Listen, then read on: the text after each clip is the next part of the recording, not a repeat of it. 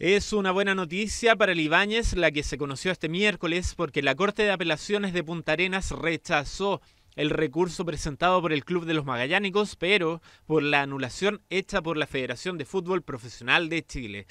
Antes que todo, hagamos un recuento. El Ibáñez debía enfrentar en un encuentro a Huachipato, el actual campeón del fútbol chileno, en la primera ronda de la Copa Chile. Esto a propósito del campeonato del Ibáñez a nivel regional y de un sorteo que resultó en la selección de los acereros. Victorino Cerda, dueño de Huachipato, viajó hasta Punta Arenas, al Estadio Fiscal, cuando caía una fuerte nieve que dejó el estadio inutilizable. Los ánimos se pusieron tensos, se reprogramó el primer encuentro e incluso se habló de un triunfo de Huachipato por secretaría, pero el Ibáñez no se dejó y llevó el tema a nivel judicial hasta que de la Federación de Fútbol de Chile decidieron anular la resolución y reprogramarlo. Juan José Cerdanovich, el abogado que presentó el recurso del Ibáñez, contó los pasos a seguir. Ahora nosotros vamos a analizar el contenido de, este fallo porque eh, entendemos de que de todas formas la resolución de la federación en cuanto a retrotraer su resolución, dejarla sin efecto e incorporar